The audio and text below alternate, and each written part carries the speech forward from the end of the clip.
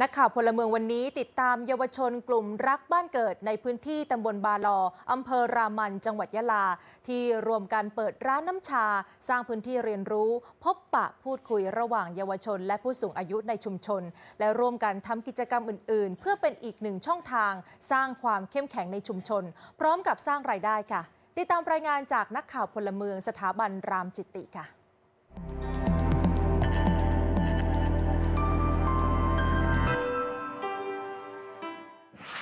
ก่อนที่จะมีร้านน้ำชา น้องๆ เยาวชน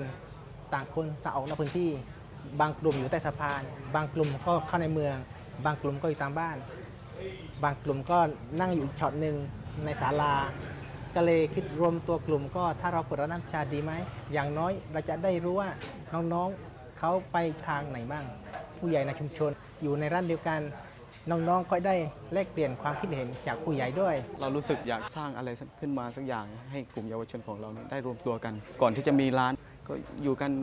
กลางคืนออกมาเจอเพื่อน นั่งโม้นั่งคุยกับเพื่อนไม่ได้ทำอะไรเลย เสียเวลาแล้วครับก็อยากจะทำอะไรเป็นร้านน้ำชาเกิดรายได้อ่าไว้รวมตัวกันจริง ๆ จังๆเลยครับ10 บาทเนี่ยแต่ละคนไปกินข้างนอก สู้เอาเรามากินที่ร้าน เอาส่วนเนี้ย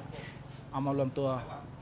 สร้างเพื่อให้สังคมสมทบกันที่นี่ดีกว่า ผู้ใหญ่ก็เห็นดีเห็นงามกับสิ่งที่พวกเราทำพวกพี่รุ่นน้องอยู่ด้วยกัน พอเราอยู่ร่วมกันทำอะไรร่วมกันอย่างเงี้ย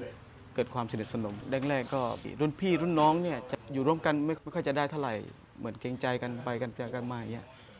เวลารุ่นพี่พูดรุ่นน้องไม่กล้าค้านอ่าอย่างเงี้ยอยากจะเสนอเนี่ยก็กล้าจะเสนอให้พี่กล้าที่จะพูดกล้าที่จะเข้าหารุ่นพี่ แต่ก่อนน้อยมากแต่เดี๋ยวนี้ เกือบเกือบห้าสิบคนอะแต่ก่อนอยู่แยกกันใช่ไหมแต่เดี๋ยวนี้ก็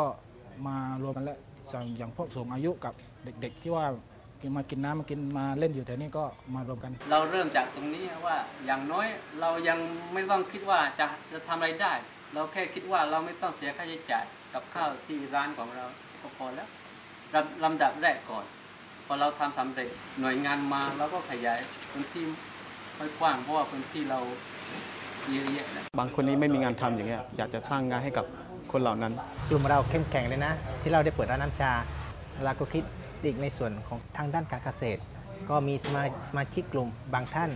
เขาถนัดทางด้านการเกษตรเขาอยากส่งเสริมให้น้องๆที่อยู่ในกลุ่มเนี่ยที่ว่าไม่มีงานทำลองศึกษาเรียนรู้กับการเกษตรบ้างเราก็มีพี่เลี้ยงอยู่ในกลุ่มแล้ว ได้รู้ว่าขั้นตอนการทำยังไง ว่ามีการตลาดขายได้ไหมถ้าพูดถึงเรื่องผัก ทุกครัวเรือนก็ต้องใช้ อย่างน้อยสมาชิกปลูกจะได้ผักกลับบ้านให้กับพ่อแม่ที่บ้านพริกปัจจุบันจะเอาพริก3ามสี่ลูก ต้องหาซื้อที่ร้านแล้ว อย่างเช่นถ้าจะเอาผักบุ้งก็ยิ่งไกลต้องไปซื้อแน่นอน นี่ถ้าเรามีมีกลุ่ม สมาชิกในกลุ่มเอ๊ะทางบ้านต้องการผักบุ้งสักขีดหนึ่งก็เลยเอาไปดูที่ที่กลุ่มเรามีไหมให้กลับเดินกลับไปที่บ้านก่อน เรื่องการขายก็เราค่อยพัฒนาผลผลิต ต่อไป ถ้ากลุ่มเราสมมติว่าอุบัติเหตุระหว่างทาง น้องๆที่อยู่ในกลุ่มสามารถแยกย้ายไปทำกันเองได้ เนื่องจากว่าเขาได้ความรู้จากที่เรามาเป็นกลุ่มแล้ว เยาวชนเราเนี่ยมีทั้งสองทั้งในระบบและนอกระบบ ที่เรียนในสถาบันศึกษา และก็ที่ไม่มีเรียนก็มีคนที่เรียนได้ไปแลกเปลี่ยนได้สอนมั่งมีความหลากหลายอ่ารวมรวมกันได้ และก็อีกอีกกลุ่มหนึ่งกลุ่มเสี่ยงเราจะทำยังไงให้กลุ่มนี้เข้ามากลุ่มเรา เราไม่ใช่ปฏิเสธเขาเราเต็มใจจะรับเขาตลอด เขาก็พยายามจะปรับตัว ดึงเข้ากลุ่มให้ได้ ถ้ากลุ่มรักบ้านเกิดปลูกการเกษตรได้ผลแล้วเห็นขายในต้องตลาดตลาดชุมชนที่อยากจะเข้ากลุ่มมั่งจะได้เรียนรู้นั่นแหละอะมามาเรียนรู้ที่นี่ดีกว่า ไม่ต้องออกข้างนอกแล้วเยาวชนเนี่ยมีพลังมาก แต่ว่าเขาไม่มีงบประมาณก็อยากให้ลงมือทำไปก่อนนะครับทำให้ผู้ใหญ่เขาไว้ใจ ผู้ใหญ่เขาได้เห็นว่ากลุ่มเยาวชนเนี่ย มีพลังเราต้องทำไปก่อน แล้วก็เขาจะมาช่วยเราเองครับผม